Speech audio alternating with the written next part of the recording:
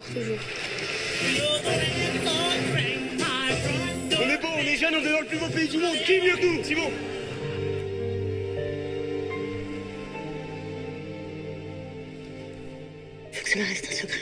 Vincent Pérez fait partie de l'équipe du film. Lors de la présentation à Kinépolis de Nîmes, l'acteur a répondu aux nombreuses questions du public venus à l'avant-première du long métrage d'Alexandre Arcadi.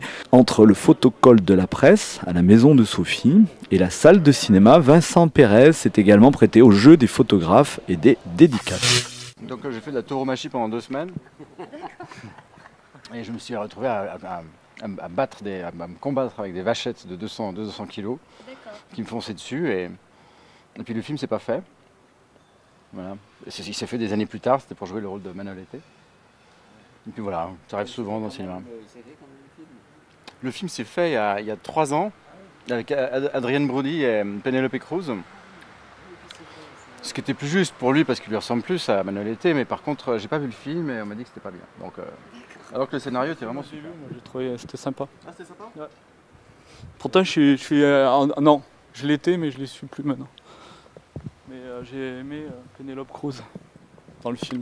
Qui n'aime pas Pénélope Euh, euh, on s'est tous nourris de, de nos expériences personnelles. Euh, moi, pour moi, Rosilio, c'était mon grand-père espagnol qui était euh, euh, cultivateur aussi et qui a été euh, euh, une figure importante dans, dans ce petit village d'Espagne et euh, que j'ai malheureusement, jamais connu. Je, je l'ai vu en photo, on m'a beaucoup parlé de lui et, et donc euh, j'avais l'impression de, de le refaire revivre, même si c'était euh, pas- c'était pas en Espagne, mais disons que c'était le même genre de, personnage. Et donc euh, voilà, c'est une manière de, voilà, je me suis servi de, mon passé. Euh, euh, Alexandre est, extrêmement précis dans, ses directions d'acteur. En fait, il, savait exactement ce qu'il voulait faire c'était d'une précision vertigineuse parfois pour nous et même parfois un peu, un peu dérangeant parce que il avait quelque chose qu'il avait, qu'il avait- qu'il avait en lui qu'il voulait absolument retranscrire avec nous. Donc nous, on était ses, instruments et on, a essayé de, de, lui rendre ce que- ce que- ce qu'il attendait de nous.